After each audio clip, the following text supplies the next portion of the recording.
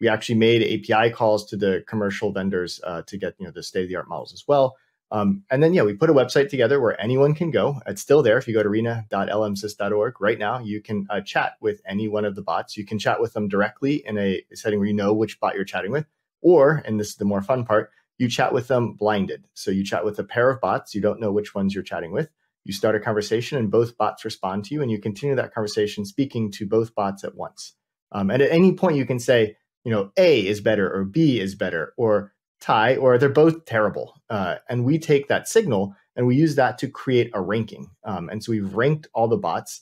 Um, we ended up using uh, a ranking system called the ELO ranking system, which was mm-hmm. developed uh, for the chess community, mm-hmm. Uh, has been adopted by the gamer community, has been you know incorporated in sports betting. It's a really cool uh, mechanism, um, and that gives us an overall ordering of the AIs uh, of the bot.